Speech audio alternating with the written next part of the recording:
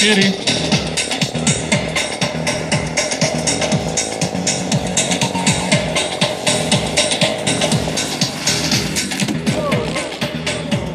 Prav za Danka. Žalost je malo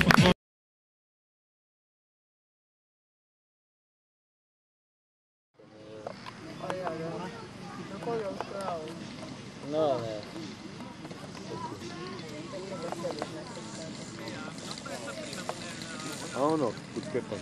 Pisto, ne ta! Je, treba je na pisto. Ne na dobe težave, če sem prav videl, no, manjkalo eno od koles in za eh, logično odločitev odločil se za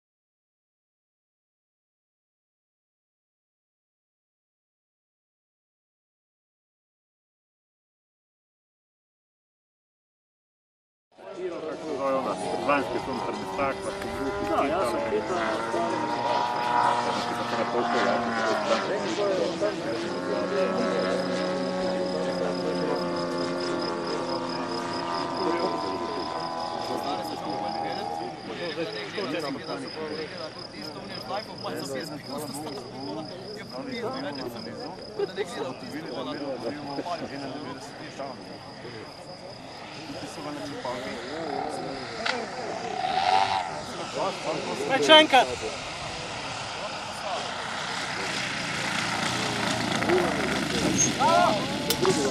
Prošao ti stav, pešen ti stanek. Bravo, ste snimili Marine. Bravo naši! Saša Šantelj.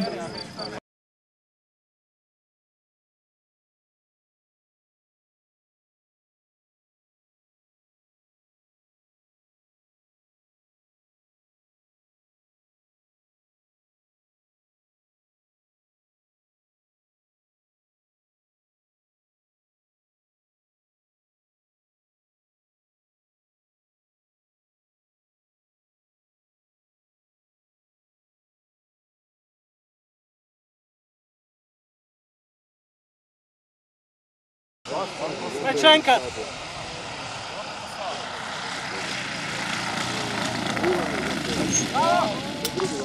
Прошу підстав.